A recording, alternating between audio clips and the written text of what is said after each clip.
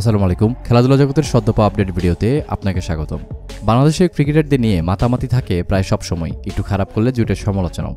শ্রীলঙ্কার বিপক্ষে প্রথম টি টোয়েন্টিতে হারলেও পরেরটি জিতে সিরিজে ফিরে এসেছিল বাংলাদেশ। কিন্তু শেষ ম্যাচে টপ অর্ডারদের ব্যর্থতার পর ম্যাচ হেরে সিরিজ খুইয়ে ফেলেছে স্বাগতিকরা। এবার তাদের সামনে ওয়ানডে সিরিজের লড়াই। এই সিরিজে মাঠে নামার আগে ভালো করলে আলোচনা সমালোচনা নিয়ে কথা বলেছেন শান্ত। যদিও তিনি স্বীকার করেছেন নিজেদের ব্যর্থতার কথাটাও। চট্টগ্রামে শান্ত বলেছেন, এক ম্যাচ ভালো খেললে আমরা ভালো দল হয়ে যাই, আবার এক ম্যাচ খারাপ খেললে আমরা খারাপ দলটাই হয়ে যাই। এটা আমাদের অতীতে হয়ে আসছে। হারি কিংবা জিতি, দল হয়ে খেলাটা খুবই গুরুত্বপূর্ণ একটা বিষয়। আমাদের সমর্থকরা সবসময় মাঠে আসেন, খেলা দেখেন, দলকে সমর্থন করেন। মাঝে মধ্যে আবেগে আমাদেরকে নিরুৎসাহিতও করেন।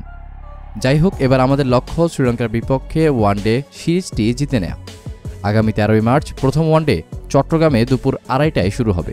এই ম্যাচটিতে সুযোগ পেতে পারেন নাজমুল হোসেন শান্ত, এনামুল হক বিজয়, সৌম্য সরকার, তানজিদ হাসান তামিম, লিটন কুমার দাস, মুশফিকুর রহিম তাহিদ হৃদয়, মাহমুদুল্লাহ রিয়াদ, মেহেদি হাসান মিরাজ, তাইজুল, রিশাদ, তাসকিন, শরীফুল, তানজিম হাসান সাকিব এবং মোস্তাফিজুর রহমান। তবে দর্শক, প্রশ্ন রাখতে চাই আপনার কাছে, শ্রীলঙ্কার বিপক্ষে প্রথম ওডিআই একাদশে কোন কোন ক্রিকেটারকে বাছাই করলে খেলাটা উত্তেজনাপূর্ণ হবে বলে আপনি মনে করছেন তা জানাবেন অবশ্যই কমেন্ট বক্সে। এতক্ষণ সঙ্গে থাকার জন্য আপনাকে জানাচ্ছি বিশেষ ধন্যবাদ।